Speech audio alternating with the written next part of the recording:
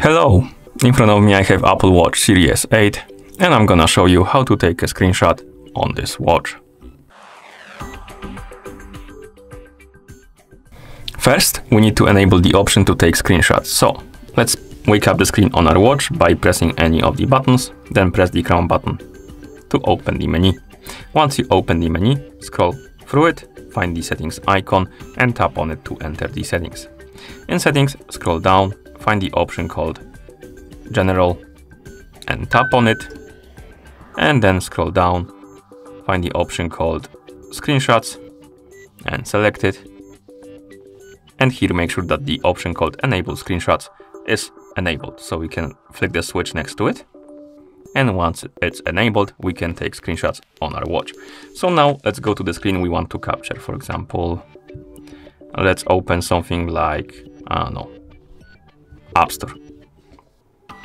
And now to take a screenshot, we need to press the crown button and the side button together. And if you press them, you will hear the sound and also the animation on the screen will, uh, basically screen will flash. This means you took a screenshot. Like this. And if you want to check your screenshots, you can open the Photos app on your iPhone. Yeah, we need to open it on the iPhone. So let's move the watch to the side. Bring our iPhone right here. Unlock the screen on it.